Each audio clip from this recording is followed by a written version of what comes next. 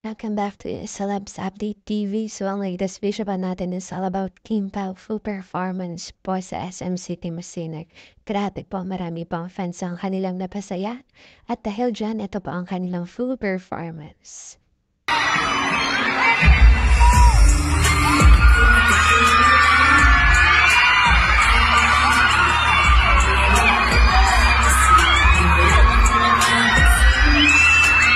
Grabe guys, wala nang marinig sa kanilang performance. Puro na lang hiyawan ng mga fans. Dahil grabe, ang kinikilig ng mga fans. Dahil halos ilang oras na po sila nag-aantay na perform ng Kim Pao. Kaya ito po, labis na natuwa po ang mga fans ng paglabas ng Kim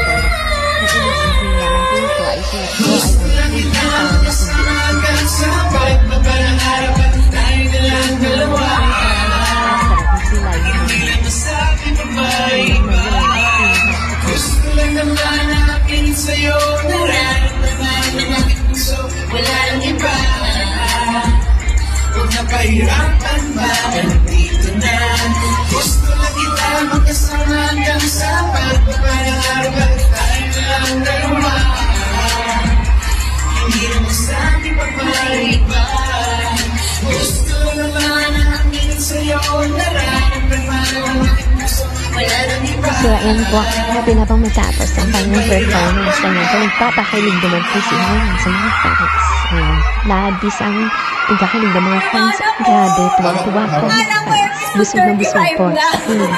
Nasa pinamayos na. 35 Parang nililito Grabe!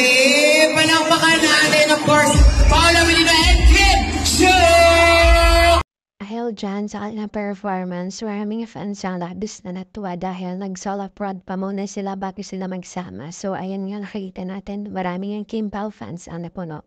So, napunong-puno itong SM City Masinag ng Kim Pao fans. Grabe, mula first floor, second floor, at mula sa third floor. At ayan din yung mga fandoms, iba't ibang fandoms na pangalan ni Kim Chu.